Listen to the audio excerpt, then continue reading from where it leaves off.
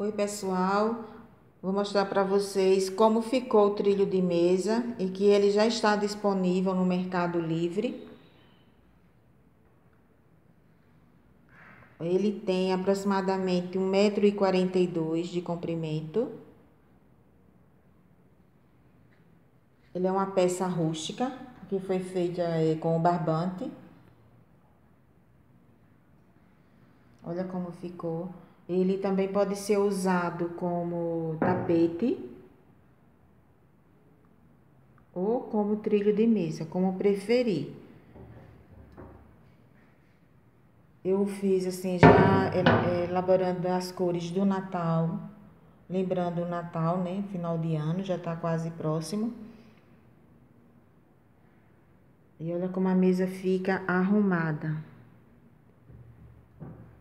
Trabalho primoroso, disponível no Mercado Livre.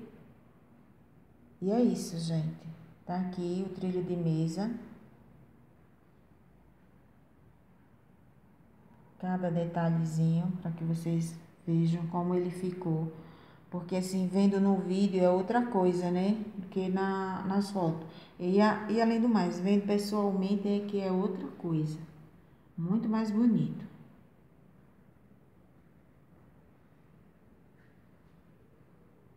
Então é isso, gente.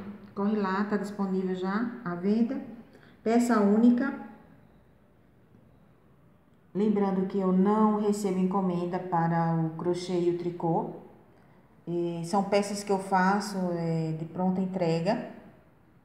Eu só recebo encomenda para boneca, as bonecas de pano, pintura em tecido, pintura em tela. Agora o crochê e o tricô não, gente.